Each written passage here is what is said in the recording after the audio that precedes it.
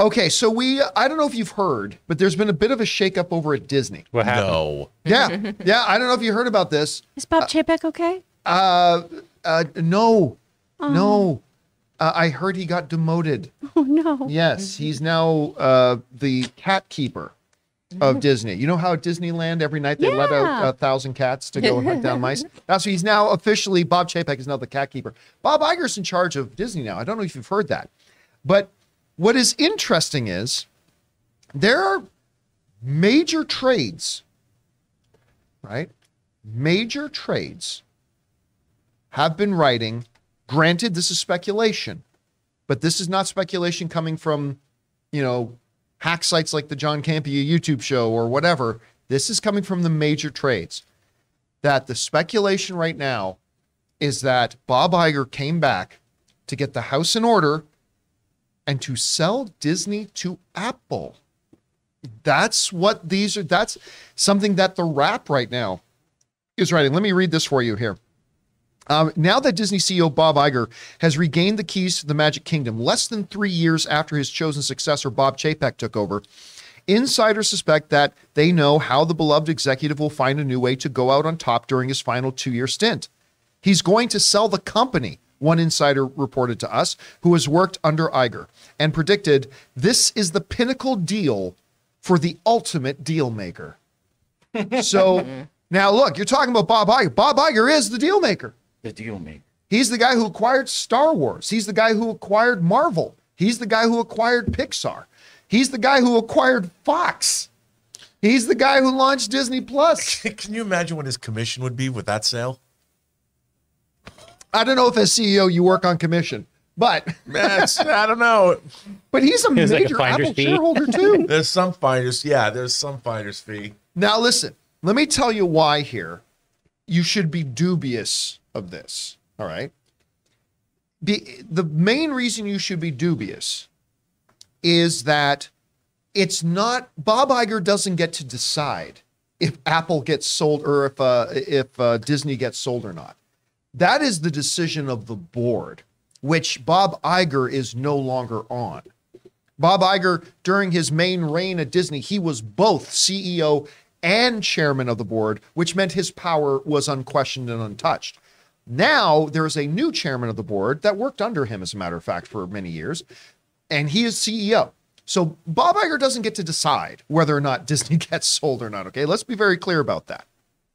That being said, that doesn't remove the possibilities that maybe one of the reasons the board brought, and again, this is where we're getting into the area where the Wrap and uh, uh, variety are getting into speculation here. Okay.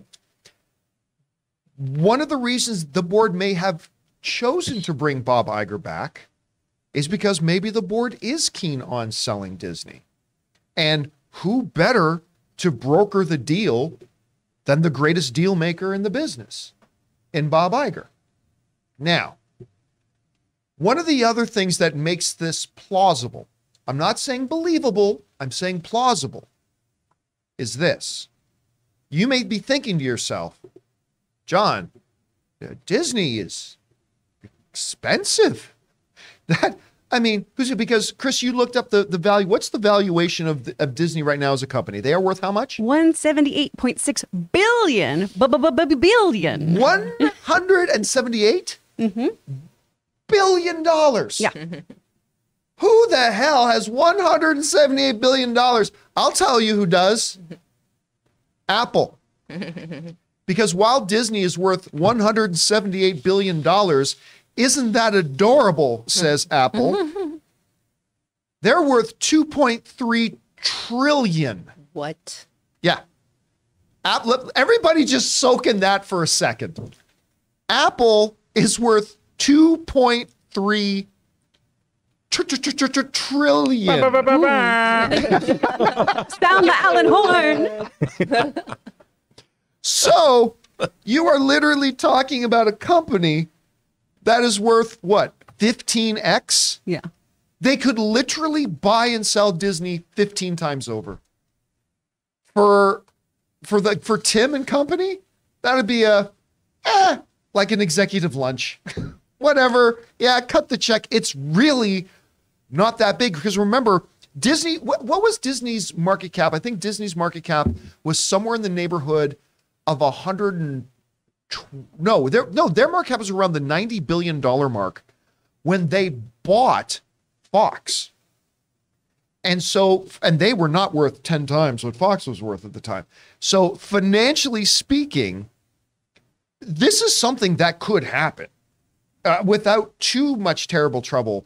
And, you know, Apple has been showing, again, I'm only, I'm just sitting here right now making the case that if you want to believe this story, I'll make the case for you. So, it could be something that the board is looking at. Uh, Apple is worth more than like probably about 15 times what Disney's worth. They could easily buy them without breaking a sweat. Apple has shown in the last number of years they are very keen of in expanding into the entertainment vertical. They launched Apple TV Plus. They're now producing movies with Martin Scorsese. I mean, they they have shown they're very active in this thing. Also, if you want to make to make another argument for you, if you want to believe this, Apple and Disney have a very long history and a lot of connective tissue between the two companies. A lot of connective tissue between the two companies. But we talk about Bob Iger, you're talking about a major shareholder. I think he is the most significant individual shareholder of Disney. He's also a very significant shareholder of Apple. He's the ultimate deal maker. And if you did want to sell Disney to Apple, he's the guy to do it. I don't think there's any dispute about that. He's the guy to do it. First, you got to get the ship in order, raise the value as much as you can, blah, blah, blah, blah, all that kind of stuff. I'll tell you right now, I don't know that I believe this story. Um, I could see Apple being interested in buying Disney. I, I could see there being interest there, again, because of their desire to get into the entertainment vertical. Um, but Disney is Disney's Disney. I, I mean, so while I there's enough stuff here that would make me go, okay, I, I could see that happen. I'm going to go out on a limb here and say I, I don't think that's what's happening here. Although, I mean, it could be very plausible. Chris, you see this the concept of Disney being bought. Mm-hmm. I, I mean, is an odd one. When you look at it, what are the arguments for it, against it, and then ultimately, do you think this is actually real? I mean, the, the biggest argument for it is just the numbers that we just went through. It would make sense. It would make great financial sense, especially because we're seeing that little tick in the stock at Disney increasing right now. So it is something a little more more desirable than it has been, right? It's got all that great IP. They own everything else, and Apple can't afford it. And they definitely want to be one of the big wigs in streaming, and they have been. Their content has been amazing lately. The thing going against it is I'm trying to figure out a world where the House of Mouse does not own itself. You know, I was a Disney intern, and no matter what job you have at Disney, you all go through the exact same training. It is a culture, it is a, a very much like from the ground up, we all are the same kind of um, workforce here.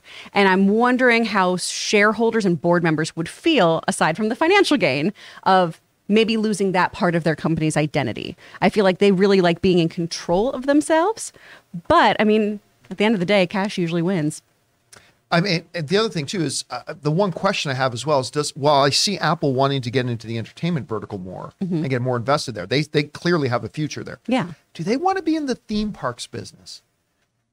Do they want to be in that business there? But plus, Rob, you know, at the end of the day, the ultimate responsibility of the board is their shareholders, and if they can make their shareholders a lot of money, I mean, I, I I don't know. Guys, we want to take a second to thank a sponsor of this video, DraftKings. DraftKings Sportsbook, an official sports betting partner of the NFL, should be your go to when betting on the NFL this holiday season. With things like same game parlays, easy and fast payouts, player props, and more. Right now, new customers can bet just $5 on any NFL team to win their game and get $150 in free bets if they do. And check this out right now, everyone can earn up to a 100% boost with DraftKings stepped up same game parlays. Just go to the DraftKings Sportsbook app, place a same game parlay, and combine multiple bets like which team will win, player props, total points, and more. The more legs you add, the bigger the boost, the bigger your shot to win big. Personally, I like the Rams to pull off a big upset win over the Chiefs next weekend. So download the DraftKings Sportsbook app now and use the code CAMPEA. Place a $5 bet on any NFL team to win their game and get $150 in free bets if they do. Only at DraftKings Sportsbook with the code CAMPEA. Minimum age and eligibility restrictions apply. See show notes for details. You hear this. What are the points in this whole thing that are standing out to you the most? Well, one, I don't think this would ever happen. I don't think it benefits Apple at all. Because if they want to get into the entertainment vertical, they can do whatever they want. They already have more money than I mean, why would a technology company that's worth what is the market cap over two trillion dollars? Yeah, I think it's around 2.3 The only thing right that the acquisition of Disney would make, the the only thing that would bring Apple is a big pain in the ass. Do they want to run cruise ships? You know, and maybe they'll fill the cruise ships with Apple software. Wouldn't they make more money selling Apple equipment, Apple software to Disney already? I, I don't see that this makes any sense at all for Apple as a company because a lot of what Disney does is so far removed from what Apple does. Yeah, as uh, far as we all forget Disney is more than just that entertainment vertical. yeah, I mean, the you've theme got parks, there's cruises, and and apparel, you know, merchandising the merchandise, and Apple's like, uh, we can we can buy here. Here's a new iPhone. We just made more money than you made in ten years. You know, I mean, or more profit. And and there's I think that there's no advantage at all for Apple to buy Disney, other than the fact that they could say it gives a whole. There is so much with Apple. They're like manufacturing technology. That's all they do. And I think the reason that they have uh, stuff on their streamings that they're making entertainment is because that's just an extra added bonus for the stuff. Watch our content on our phones, on our computers, on our monitors, whatever. They're just, and it's fun for them. They can make movies and they can spend enough money that they can hire the best people. Oh, we're going to make a movie, but we're going to get Martin Scorsese to make a movie. And we're going to spend $200 million on it. And you know what? No one cares because we can make that in an afternoon if they need to or whatever. So there's no reason for them to buy Disney. I don't see any upside at all unless they have a long-term strategy that I'm unaware of or that we're all unaware of that makes it I, I just think it's a it's a whole it's a business that is not theirs. The one argue because I agree with you. I don't think this is going to happen. I mm-hmm. agree, but let me play devil's advocate for a second. Apple's history is a history of identifying something they want to be in and buying out somebody else who's already Sure. doing it. Yeah. That is the Apple way. I mean, of course, they innovate, they do a lot of stuff, but if you go through their history, there's a lot of their technology says, you know, we want to do that, so we're going to buy these guys who are doing it now. And so uh, that's the one thing I would say that if they are really want to get seriously into the entertainment vertical, and they've made some great strides themselves, but they lag far behind, you know, a lot of the other major players right now. Buying Disney becomes kind of a no-brainer for that if they were dead serious about wanting to get get elevated in the entertainment vertical. It could also be depending on the culture of it. You have a Tim Cook who's like, man, if I was the man to bring Disney into the Apple family, that's my legacy right there. But again, I don't think it's going to happen. I, I'm, I'm just trying to play devil. Yeah, I mean, advocate here. I just don't see what the advantage to Apple it would be. I mean, if they wanted to have a cruise line, they'd build the Apple Cruise, and they'd build the ships from why scratch. Build, why do that? Why do that? It's the same reason why they buy a lot of other smaller technology companies.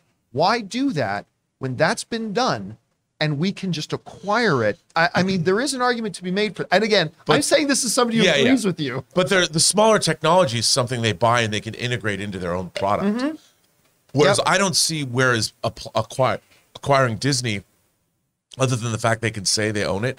It's way of it's it's way afield of their core business. Again, it all depends on an X factor we don't know. Right, How exactly. serious are they about wanting to dominate the entertainment? I mean, vertical? but they have so much money Yep. that they can do whatever they want already in the entertainment vertical if that was their desire. But they would still want to do it the most financially expeditious and most financially I- efficient way. I think if Apple was going to buy anybody, they'd buy Paramount or buy Sony or buy somebody that because why would you buy them when you can buy the better company? because Disney's got too much stuff that they don't need. I mean, that's true. That's the big. That was the big question for me, right? It's like, do they want to be in merchandising? No. Do they want to be in cruise lines? Do they want to be in theme parks? Do they want?